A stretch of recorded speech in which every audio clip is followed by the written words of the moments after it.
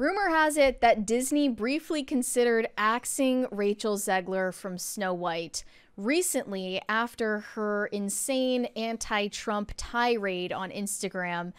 Obviously, this comes off hard to believe because we are mere months away from the release of this movie in theaters and there is no going back at this point. It is, in fact, too late, but there were inside sources telling Daily Mail that Disney was looking for options to get rid of her because this has been what not strike 3 but like strike 10 11 yeah. maybe at this point it says an insider explains Disney would love to be able to tell her to stop talking, but it's simply too late. They had talked about removing Rachel from the role several times when it was shooting in 2022. She's a loose cannon and caused issues during the production because she didn't agree with how the film plot strayed from the classic movie's plot. That's something I really wanted to emphasize. It yeah. sounds like they, if this inside source knows at all what they're talking about and has any real insight. Yeah.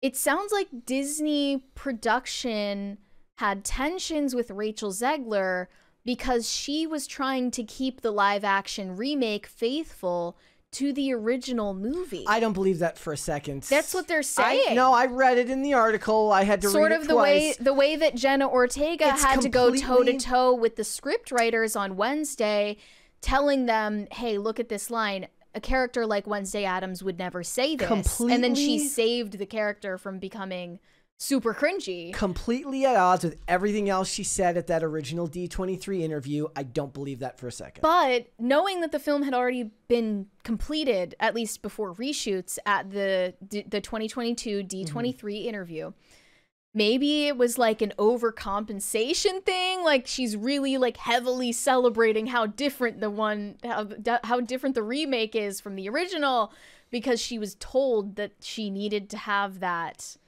that outlook on it uh, I just I just I, find that really surprising that the source would say that I find it surprising too. So surprising that I don't believe it.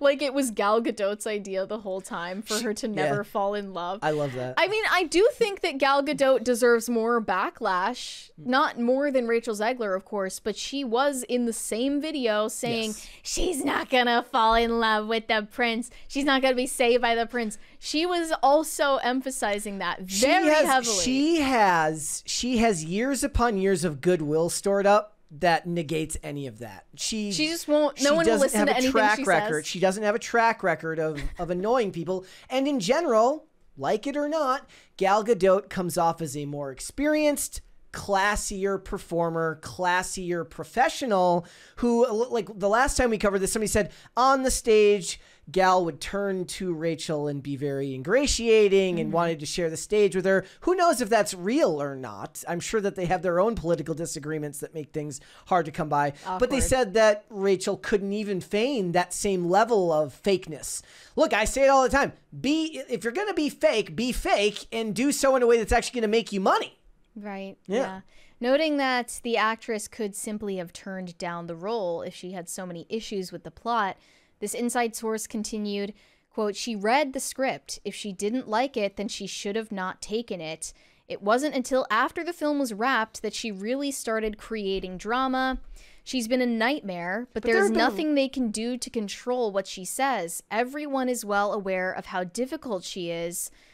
Work um they say right now it is way too late to shelve the film. As much as people think that her recent comments and controversies will hurt the film, it's likely not the case.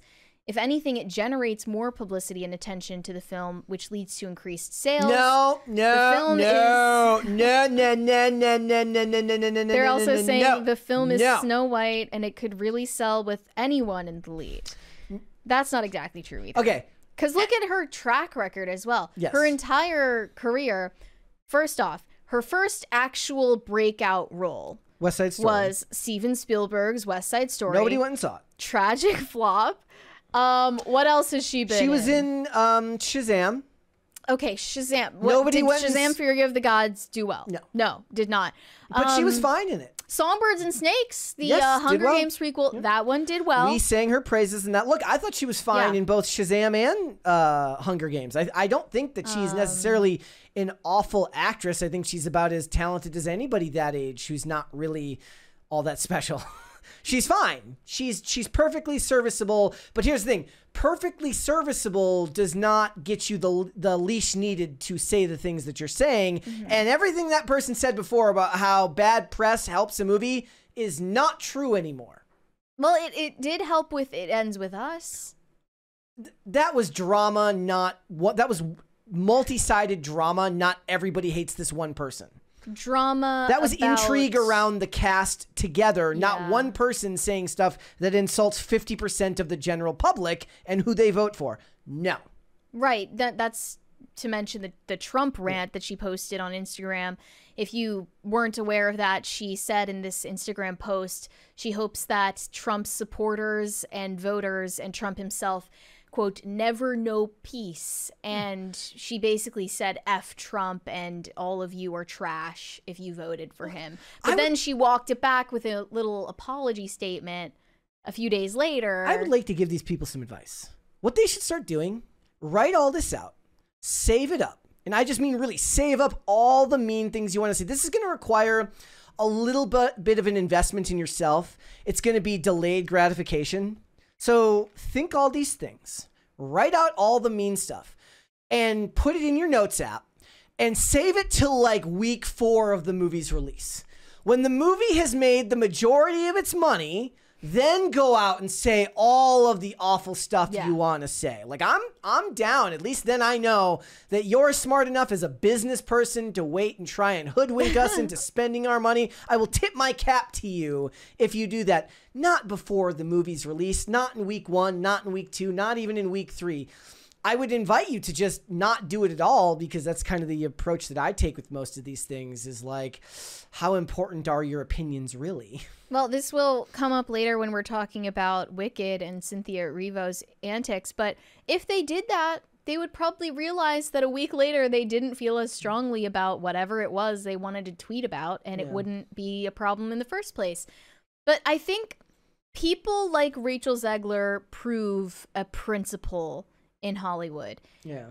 this is the pattern of not just individual performers but also big studios in Hollywood failing upwards Yeah. because you can see in each of her projects it's not like she has been going up you know incrementally exponentially becoming more successful with each project but she's getting more roles anyway and Disney is doing the same exact thing where it's a totally hit or miss, more often miss than hit Mm-hmm. for them, and yet they continue just getting the roles going on. And Um look, West Side Story, not her fault. Ensemble yeah. ensemble film. doesn't matter though if it's her fault or not. Um, it's, your star power suffers nonetheless. But I mean, her her star power has nothing to do with her acting.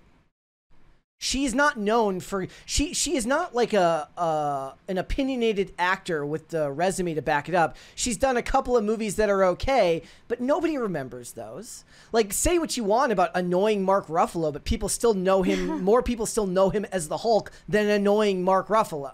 Sure. People in this space know him as annoying Mark Ruffalo. Mm-hmm. People in this space know Chris Evans as annoying Chris Evans. Everybody else knows him as Captain America. And I can still go back and watch all of those Captain America performances and applaud him for doing great work. Okay? First do the great work, then be the annoying person.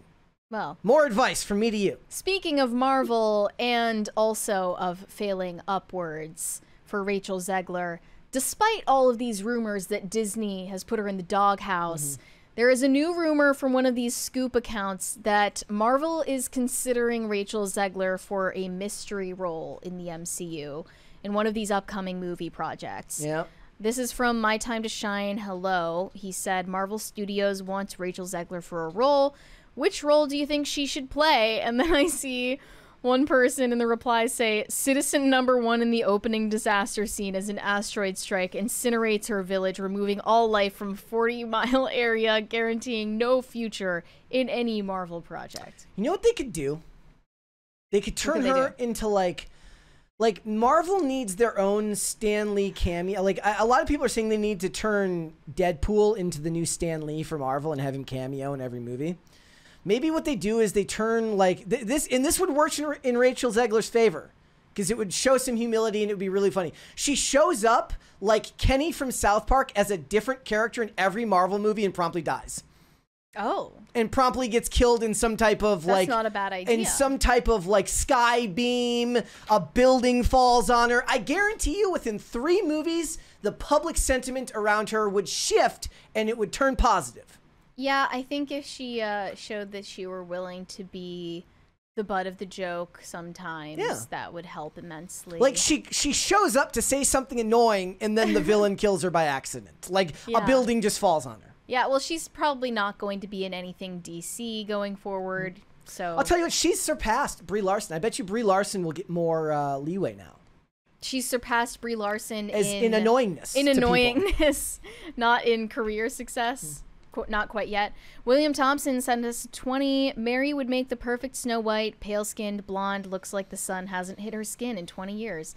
Well, I'm not, I would have to have black hair for the role, and I don't know if I'm willing to do that. Yeah, like have you ever uh, used like those uh, filters on the on the apps that turn your hair a different color? Yeah, I mean, I had black hair for a while. Yeah. I, I dyed it black and it was not exactly a look. But yeah, this is this is the rumor. Rachel Zegler is going to be in the MCU because it couldn't possibly get any worse, right? We will have to wait and see. I've given you many suggestions here today, Marvel and Disney. I suggest you take all of them and use it to your benefit. Thanks for watching. Listen to full episodes of Pop Culture Crisis on Spotify Keep up with us on social media and make sure you subscribe and ring that bell so you never miss the show. Bye, guys.